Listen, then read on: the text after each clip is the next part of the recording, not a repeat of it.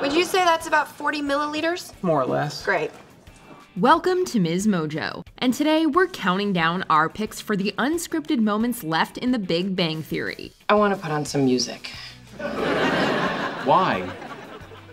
I don't want to disturb the people next door while you discipline me. How about Emily or Cinnamon? Boo.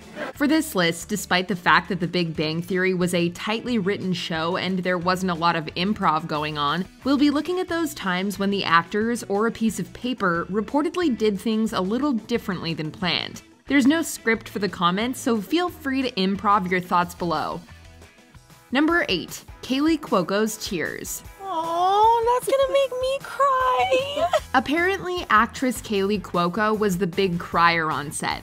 Our sweet Penny would tear up from laughing, but was also known to cry during emotional scenes. And not just her scenes either. We've been getting super emotional. We were doing a scene before the holiday, and we- we were just blocking, and we were the only two in it, and just kind of rehearsing the scene. And out of nowhere, I just started bawling. It's been said that her eyes would even water behind the scenes while watching other actors in moving scenes, like when Sheldon proposed to Amy.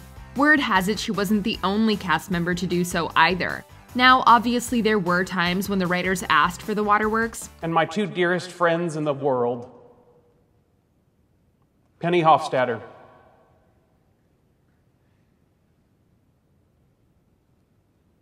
And Dr. Leonard Hofstadter.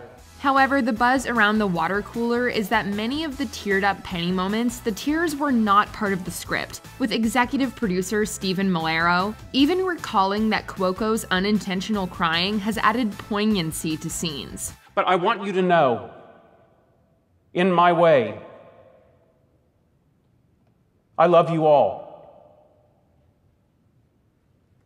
Number 7. Cracking Up. We could wait a couple days and see it together. The Big Bang Theory made us laugh and cry, and apparently it did the same to the actors. We already discussed Cuoco's unscripted tears, and now it's time to get to all those unwritten laughs. For future reference, if I want to watch Mean Girls, I'll stream it on Netflix. We're sorry. What do you need? While they may not have been scripted, the laughs weren't necessarily out of place. When a friend says something funny, you laugh, so it makes sense when characters do the same on a comedy show. You should know that Sheldon said he's ready to be physical. You shut your damn mouth! It happened more often as the sitcom went on, and the actors got more comfortable with their roles. But it's hard to believe that Leonard's prolonged giggles throughout playing Emily or Cinnamon were merely scripted for Johnny Galecki to play. Who is he talking to, Emily or Cinnamon? I want you to know the bed feels so lonely when you're not in it.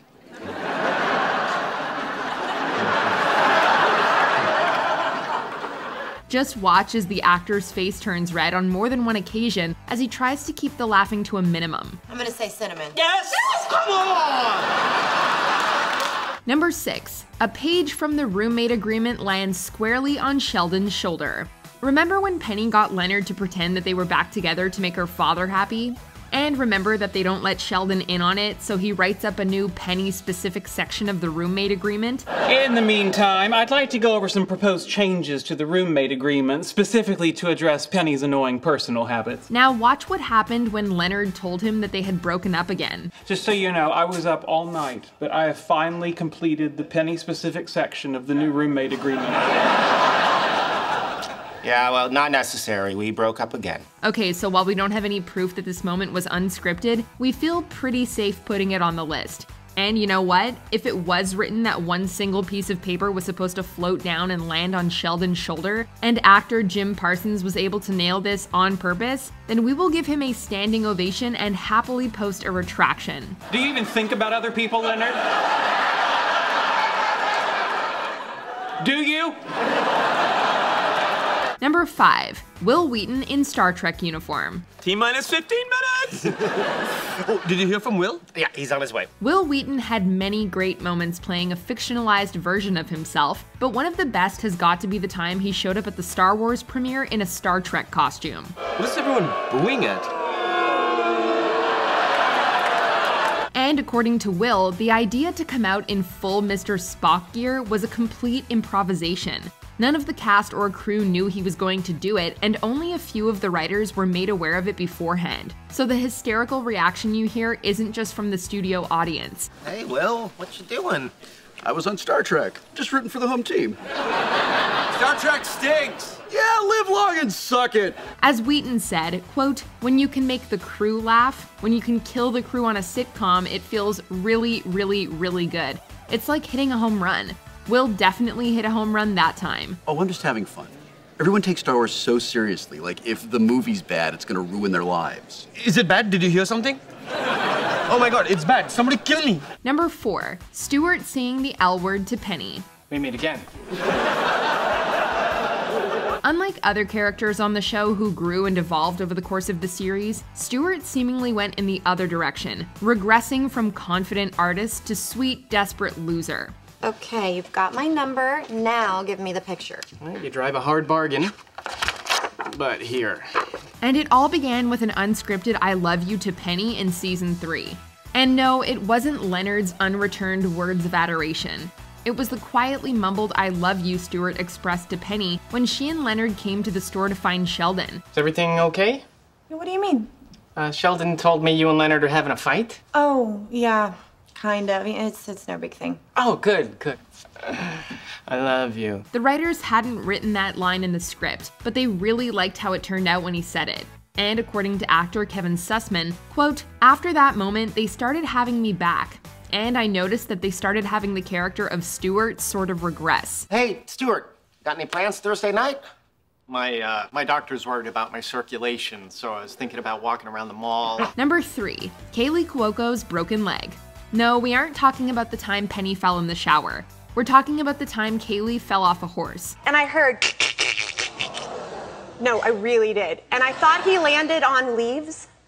And I was hoping it was leaves I was hearing crackling, but that was my bones. Some fans might be aware that Penny is the only member of the original five to have not appeared in every episode.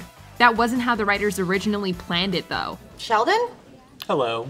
What are you doing here? Penny had to be written out of the fifth and sixth episodes of season four after she had a horse riding accident and broke her leg. They're not writing it in, which, you know, I'm not going to question it. I, I was kind of shocked. I thought they were going to, but they're just going to be hiding me, kind of like when you're pregnant. So I mm-hmm. thought, this is great. I can eat whatever I want. Become uh-huh. the size of Texas. No one will know. Because they're going to have me a bartender now. So, uh-huh. like, everything will be up to here. But although it was definitely a tough time for Cuoco, the accident worked out well for Penny, as it got her a promotion from waitress to bartender so that they could film her without showing the bottom half of her body upon her return. Okay, Sheldon, what can I get you?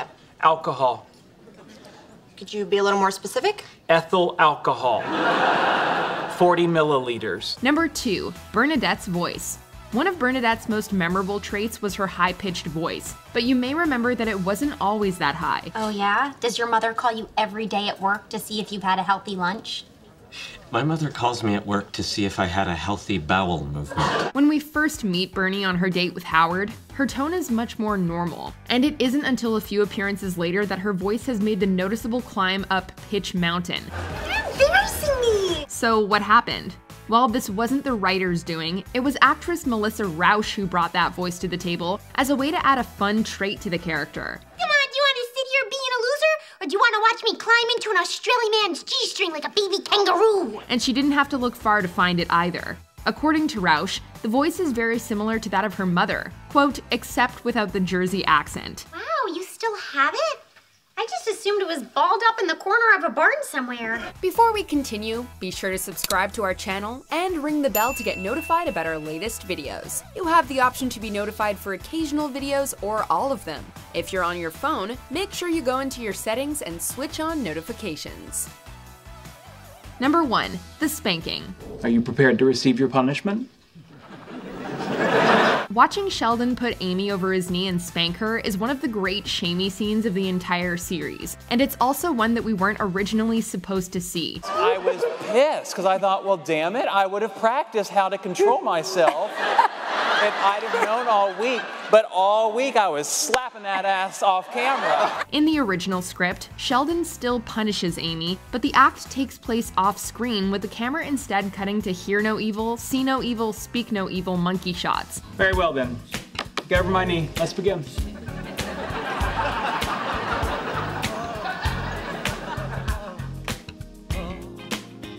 Oh my. We'll admit that monkeys acting like people is funny, but not as funny as seeing our uptight Sheldon putting hand to booty and seeing Amy's perfectly enjoyable reaction, which might not have been as much acting as you think. Excuse me, you're not supposed to be enjoying this. Then maybe you should spank me harder. Maybe I will. As Jim Parsons said of his co-star Mayim Bialik, quote, you have no idea how game this one is for that. I'm not kidding. what? It's you, true. you were like. Do you agree with our picks? Check out this other recent clip from Ms. Mojo and be sure to subscribe and ring the bell to be notified about our latest videos.